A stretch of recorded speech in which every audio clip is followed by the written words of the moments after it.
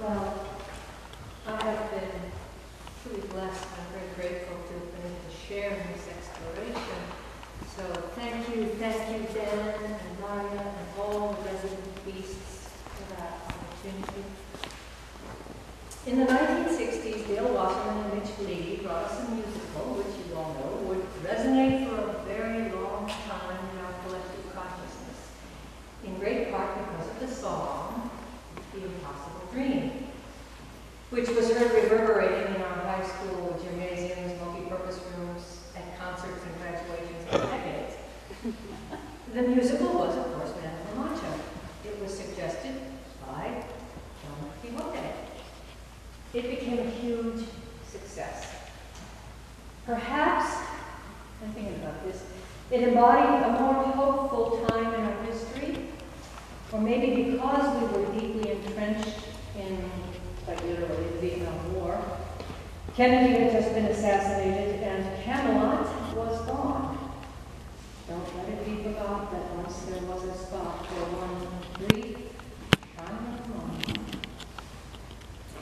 We were desperate for some impossible dreams to help us cope. If Don Quixote's impossible dreams admonished us not to give up hope, his insistence on seeing the beauty in the commonplace and the debased also reminds us what it is to truly love. From the book.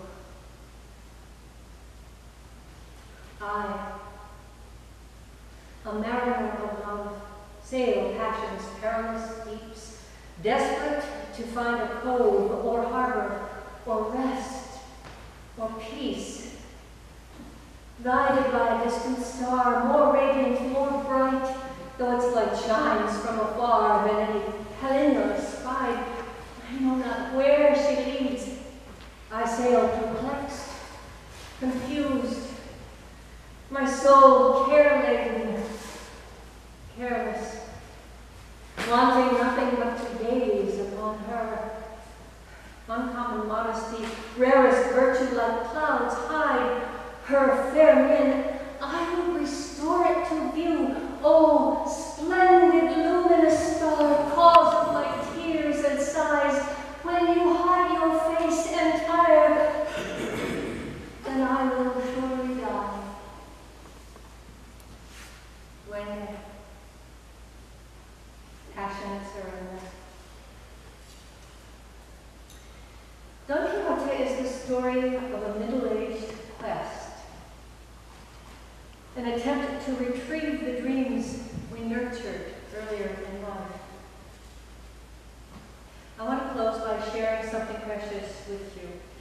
It's a recording of the original of La Mancha, Richard Kiley, singing something only I have heard until now, except for the the he recorded it right here in Connecticut, backstage in the dressing room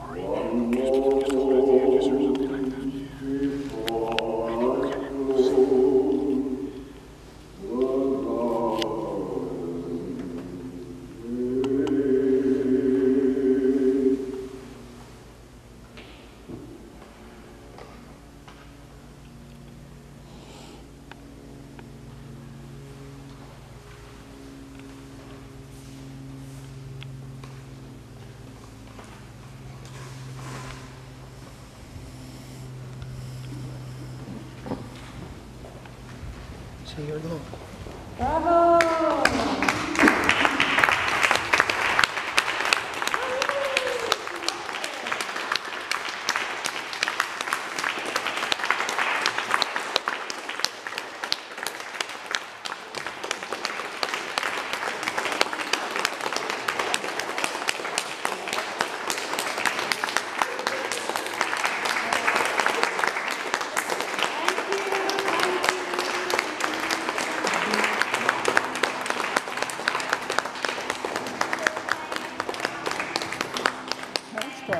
So good. and your illusions. We thank you for fulfilling some of them, and we thank you for ignoring others of them. Thank you for being here